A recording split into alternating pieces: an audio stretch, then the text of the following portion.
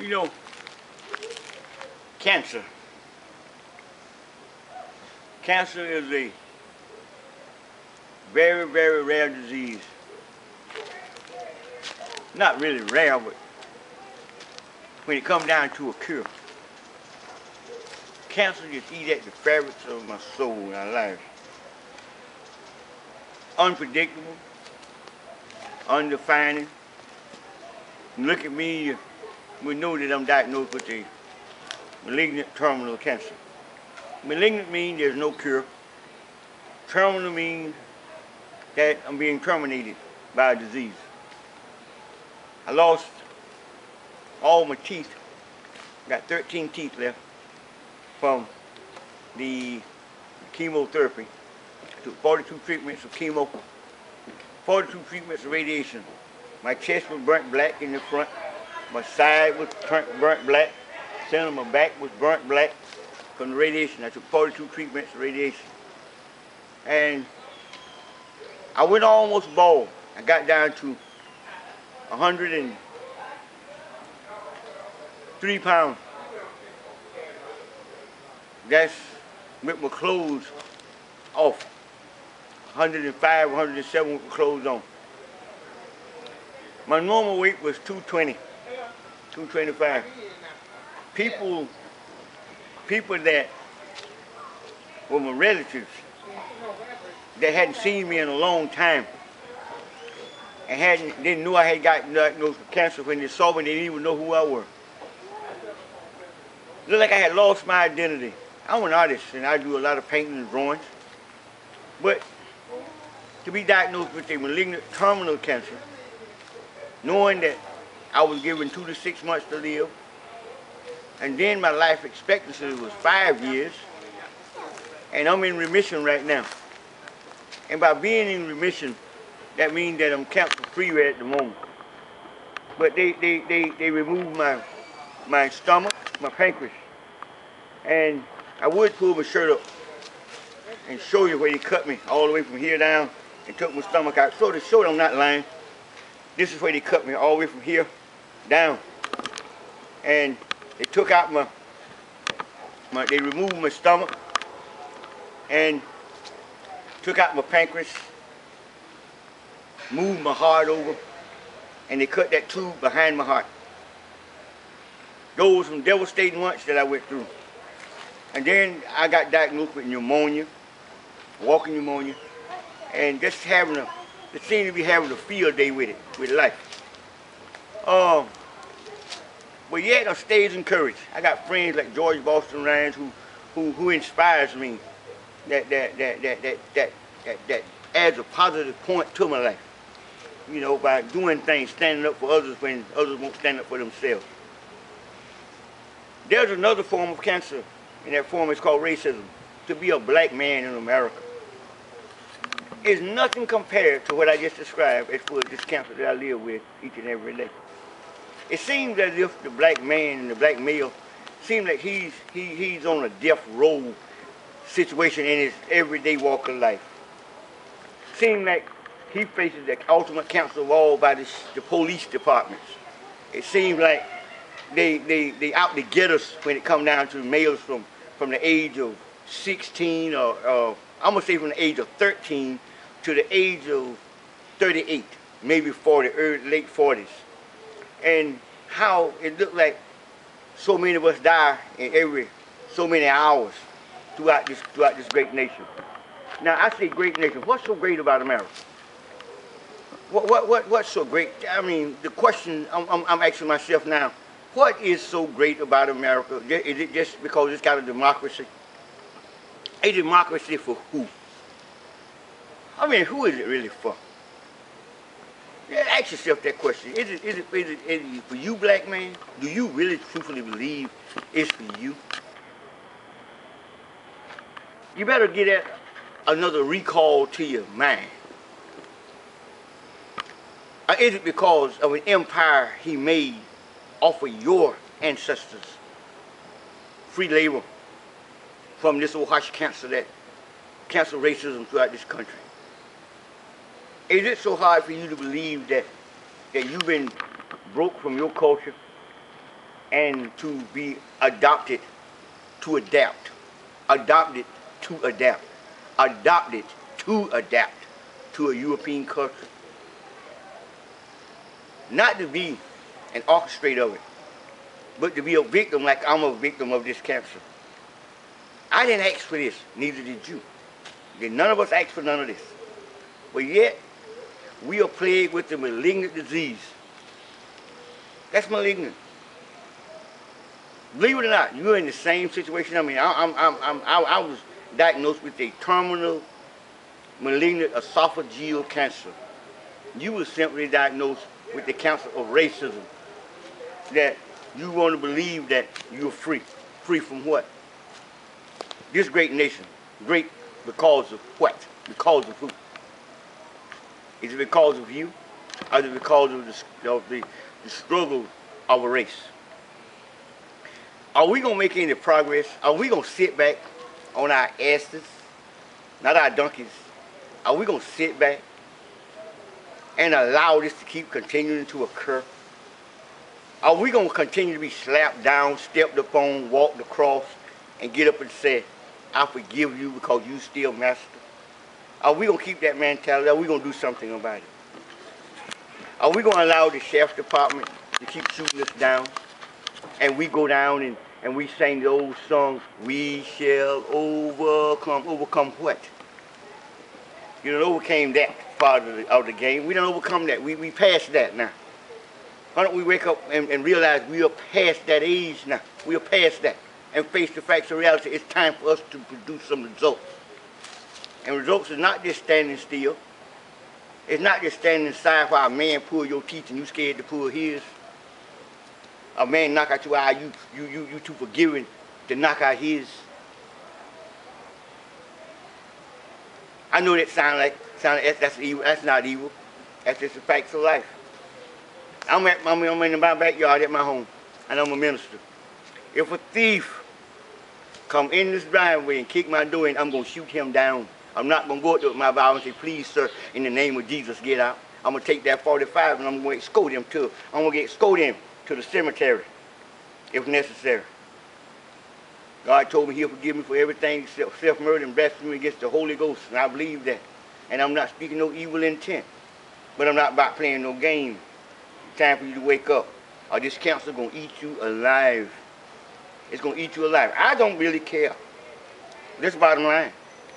Here I am. I, I, I, let me walk up a little closer. I was diagnosed with a malignant, mean no cure, Terminal means that I'm being terminated. Cancer, something that eats at you.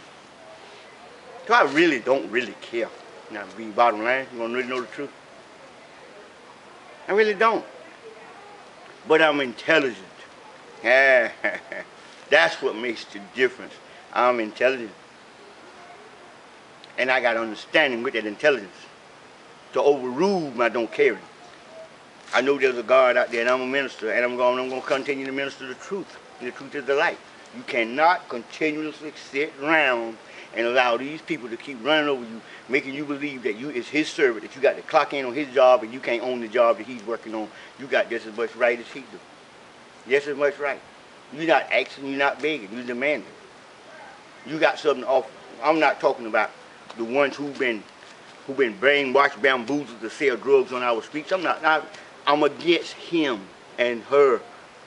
Uh, I'm not talking about the one that go up and drop her drawers and, and take a dress up high and, and get in the games of prostitution. I'm against her. And then I'm on the line. My, my thing is to preach redemption to them. But to have intelligence with what you do. This, this is not a game. I'm tired of every time I ride down the street and I go to show one of my friends, look at this building we got and it belongs to a white man or an Indian. I'm sick of that. Every time I look around, I see black businesses trying to thrive, and every time I go to talk to them, I'm the representative of the Black Business Association, and every business that I talk to can't get capital. I'm sick and tired of that.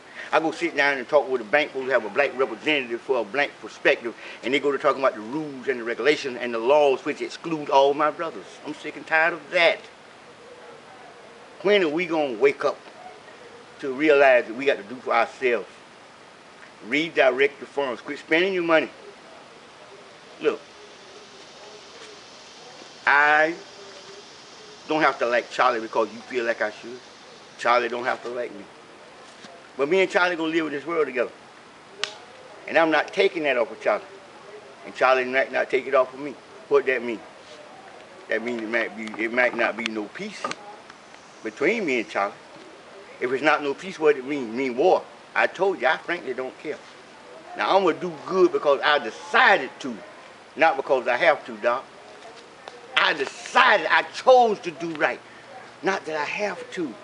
And I could kill him as quick as he could kill me. And I mean just that. In there lies the same thing that lies in all men. We can do anything our heart desires, but can we live with it? That's the big question. You don't know until you do it. But it's in you. Both ways, right and wrong, good and evil. I chose to make my mind up. I chose the decision in the direction I want to go. And I chose to follow the path, even if it's a religious path. Those little voices you hear behind me are the voices of little children. Because I want them to have a future, for something to be right for them, so that they can make it in this world. I chose to go this route, not because nobody's making me do anything. I can take my, I can take, I can take my 45, I can take my automatic 38, I can take any gun. I got guns in this house, man. I do. And I also got the word of God in this house. And it's not because I'm compelled to do. I'm doing this because this is what I decided to do. I'm a black man in America, born in Fremont, of good repute. My grandmother and my grandfather died on this American soil, right here. My ancestors died, free labor, and ain't, we ain't get nothing out of it. Here we got a thriving business downtown, refurbishing dumpsters, we could build a garbage trucks. Be building every part to a garbage truck, refurbish it. And the city here won't give us not one thing to do. Why? Because we stand up against them. And guess what? They got the Uncle Tom's and their James and plant. They got their plants here in the city, this city of Valdosta. But we're going to turn this city upside down with righteousness because we are not scared. We are not cowards. We are not Uncle Tom's. And all of those who sits in the pulpits, this is the truth, that, that, that, that represent their communities and not doing the thing they should do for their communities and not singing this song, this gospel. What, what gospel are they preaching? An ill preaching? The preaching of a European culture that you are made to believe that you got to work for somebody, you got to be on the time clock, you got you got to get and struggle every day in your life for someone else to, to live a good life, and you live by the crumbs that fall from their table. It, it, this, this, this ain't no good. We got to do better than this. Yes, I was diagnosed. I, must, I, got to keep saying this. I was diagnosed with a malignant, terminal esophageal cancer. And I had raised my shirt and showed you where they cut me open, moved my heart over and cut my, cut my esophagus tube behind my heart. I had bags on my side to pull off drain blood. 17 inch tube put inside of me and I and I had to battle on this six for several months. So I understand the agony of pain, and I and I hurts now when I. It, it reminds me what I go through. So I know you hurt when when when you got to eat this garbage that they dumping on you for life.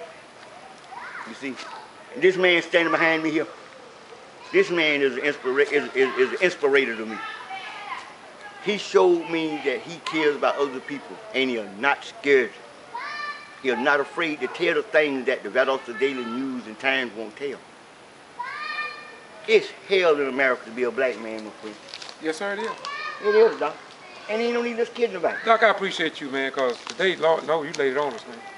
I don't know what, I told you I got this morning. Come on, mm. I told you I got this morning. I don't know what it is, but it's like something in the air, man. It is. I don't understand it. Uh, but black people can't continue like this, man. We can't, Doc. We just can't do it. We, we, we, we, we done it 497 and years. It's the end everything. This, uh, this year, 497 years. It's the end. It's the end, the whole thing. That's right. Yes, sir. It Got to come to an end, brother. Uh, it's amazing how white police officers is shooting down black people, our mm-hmm. black children. Yes, sir. The black police officer got the same 38, That's the right. same 9 millimeter. That's right. They ain't killing black, white folk like black like white police killing our children. Like we swat flies. So so maybe our black police officers may need to understand that a cell phone now is considered to be a gun. Yes, sir. So when they use they whites use their cell phone, they might need to mistake it as a gun. They have shot a guy nine times over the wake way, Waycross. I went over there and recorded. I got it on video. That's right. That's right. Just in Macon, Georgia, 2010, they shot Miss Renee McGee, uh, son, threw him in the water. The GBI didn't do what they're supposed to do. That's right. GBI didn't do what they're supposed to do in Brooks County with equipment 10 plus 2. So the GBI didn't do what they were supposed to do with Willie Jane Williams' death. So when KJ asked about the GBI and what they did to in that, you can see why they would be outraged. Right. It's something wrong. Something wrong, Doc. And we got to make it right. And you, you're so right. You are so, you absolutely so right. We are tired. We're tired. Yes, sir. See, this disease is eating at us. Just like this disease is eating on me. It's, it's, it's, it's, this, this disease is worse than what I'm facing, man. Yes, sir. It is. A, a young man go to school and don't return, and then now then then we get all the, then we get all these other voices. Yes, sir. And then I listen to it on radio, on ValdostaToday.com. I listen to all these people who act as if though black life is like it was with the Dred Scott decision, 1857, that no black man had any rights that a white man had to res- respect. That's what it seemed like. But I was talking to a young man this morning, and he said, "The hell with marching, the hell with protesting." I agree. He said, "The hell with all looking and praying to a God too high and a hell too low."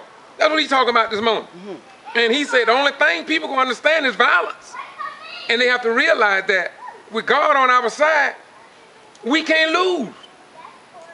We done, we had to fight just to use the bathroom, Doc, and we won. see, the problem we have, we won't form a cartel.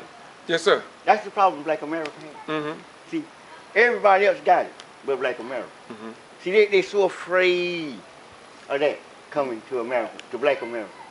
See, once we come together and organize ourselves, we ain't got to take it down. We thought the revolution won't be televised because the Black Panthers, brother um, Malik Shabazz was in town last week, That's right. but no news media, media said nothing about it, but I did. Right. And they are here because uh, they go across the nation. And black folk got to understand something. They got to understand that nobody tell us who our friends going to be anymore. That's right. We got a right to claim a pigeon as our friend if we want to. But my brother, see, the way it is with us right now, all our friends, except our brothers, our true brothers, all our friends, other than our true brothers, run cars, holler at the moon, and piss on trees. Yes, sir. You see, well, other than that, see, us, we, we true brothers. Yes, sir. See, we are true brothers. True brothers. Peace, brother. You know, and, and that's what makes the real difference. See, this brother came to my aid this morning. Just, just this morning. When I couldn't do something for myself, he come and did it for me. He said, my brother, I said, I had it not. He said, but I had it for you. And we were able to make the, the, the, the day a very successful day. You know, I'm going to say this again. I keep repeating this. I was diagnosed. I was diagnosed with a malignant, no cure, terminal esophageal cancer. And I'm in remission right now. And think about the kind of mind frame I must be in. Knowing that any day now, I could be, this thing come back on me, they told me I got six to eight weeks at the most, at the most. Knowing that any day now, this thing could spring up on me in the middle of the night, right now after we get through talking, and it, and it can activate. Now think about the kind of frame of mind I must be in. So therefore, I can understand the frame of mind that you are in, my brother, because you is being diagnosed with a malignant terminal illness, with racism, and you, it is terminal, and it have determined that your reward is death, not by a justifiable call by God, because that your mind, the old folks said they the word is called it adult. Your mind have been added. put that in, in, in the layman's term and, and, and um, ebonics, that means that you have been brainwashed. That means that, that, that you have been enslaved in thought to believe in something that have no use for you. To believe in something that have no use for you. None other than to use you up and teach you through its religion that you were the son of Ham. And that all the Ham's children was cursed. Which is a lie. That's a lie. Lie from the pits of hell. You understand? But when you're ignorant, you can't defend it. But when you get into the ancient knowledge of truth, then you walk superior and you walk above all that garbage. That's right, Doc. And that, uh, that, that, that's going to finalize what I'm saying. Is that you have been diagnosed with a malignant terminal illness. And it's going to carry you to your grave. And you don't have to take nothing from anybody. You can do anything the next man can do. If he can pick up a stick, so can you. If he can pick up a marble, so can you. If he can pick up a dollar, you should be able to, but he got you barred from that. You see? But if he can pick up a gun, so can you. If he can pull the trigger, so can you. Now, where did it say? It said that you should be forgiven for anything except blaspheming against the Holy Spirit and self-murder. That mean all the rest, they set up the laws that you could plead to the fifth. That you ain't never got to testify against yourself to nothing incriminates you. So don't go ahead and start fessing up to anything. Use the intellect that God gave you as a black man. And realize that you're a wanted species. even to death, and in many cases after death. And concerning the death of KJ, to have haven't been told. Once again, this is the Ghetto Free Press. We're doing what we do because somebody got to do it. Though we suffer and though we die by the blood of the Lamb, we shall overcome. Blessed are they, which they that die in the name of the Lord, for they shall rest from their labor. Heaven and earth will pass away, but God's word will stand forever. And we don't have to apologize for speaking the truth, whether it be on Chris Beckham show, Hannity, or the rest of the reverse Christians and patriots of this dispensation. They look like they are giving off a light, but when the light goes out, we are left in darkness as we have never seen before. Bye bye. We gone.